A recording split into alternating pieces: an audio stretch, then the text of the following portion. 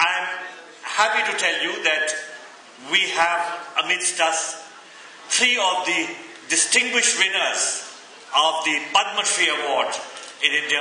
There are three prominent persons amidst us who have been decorated this year. I would like my colleague Anju Kumar to call out their names, tell you in brief about them, and I would request the Honorable Speaker to join me in presenting them a floral tribute. And you please call their names. Dr. Sudhir Parikh.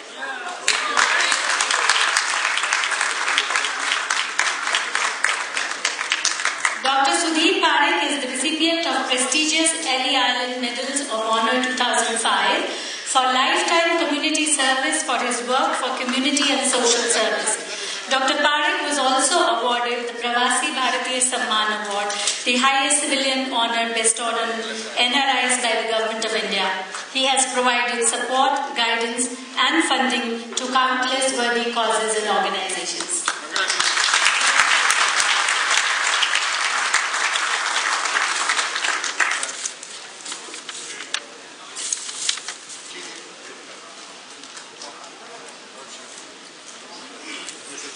Uh, is Professor Somasundaram? Yes.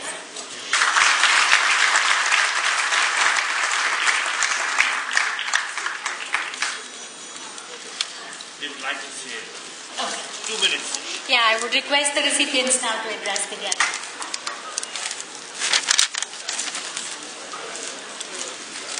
Honorable Ambassador Prabhu Dayal, Mrs. Dayal, distinguished guests, and dear friends. I'm deeply humbled by honor conferred on me by President of India. Back in my India days, I too, like all of you, perhaps used to read about and watch the Republican, Republic, Republic Day celebration, the parades and award ceremonies. But to be a small part of those celebrations on this 60th anniversary of the Republic is dream come true for me. Even though I had had a fortune of receiving several honors here in this country, to be recognized by Motherland with the Padma Shri Award is particularly special. It's almost like when you, your mother tells you that you are a very special child.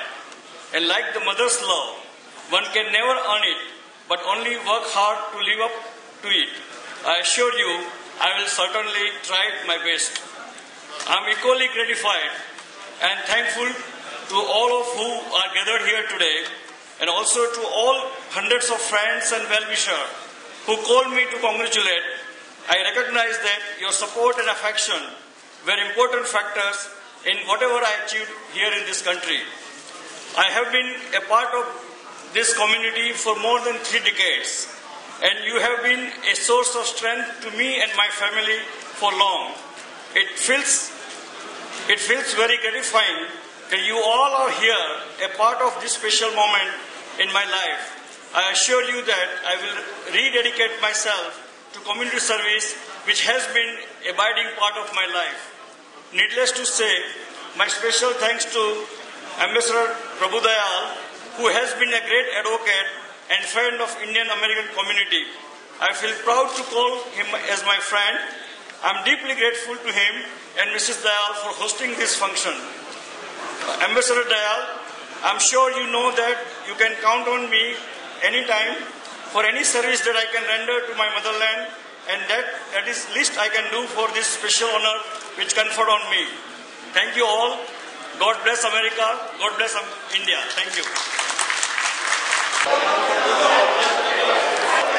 I'm very deeply honored and uh, humbled by receiving this honor from Government of India.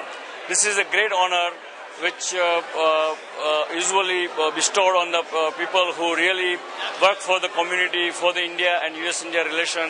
And I'm sure I will continue my community service, uh, which is a part, abiding part of my life, to make it this award more worthwhile.